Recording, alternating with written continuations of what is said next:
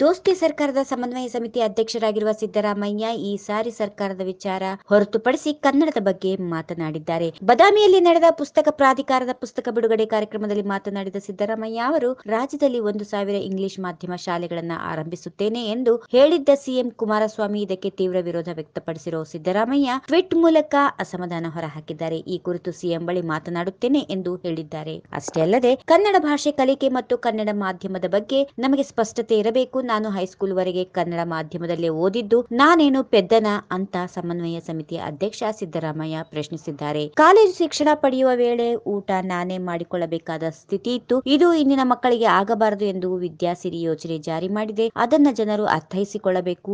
ನಮ್ಮ ಜನ ನೆಲ, ಜಲ ಹಾಗೂ ಭಾಷೆಯನ್ನ ಪ್ರೀತಿಸದವನು ಮನುಷ್ಯನೇ ಅಲ್ಲ. ನಾನು ಕೆಲವು ದಿನ ಮೇಸ್ಟರ್ ಆಗಿ ಕೆಲಸ ಮಾಡಿದ್ದು, ಆದ್ದರಿಂದ ನಿಮಗೂ ಪಾಠ ಮಾಡಿದಂತೆ ಆಗುತ್ತದೆ ಎಂದು ತಮ್ಮ ಮಾತು ಪೂರ್ಣಗೊಳಿಸಿದರು. ಈ ವಿಡಿಯೋ ನಿಮಗೆ ಇಷ್ಟವಾದಲ್ಲಿ ಲೈಕ್ ಮಾಡಿ ಶೇರ್ ಮಾಡಿ ಸಬ್ಸ್ಕ್ರೈಬ್ ಮಾಡಿ.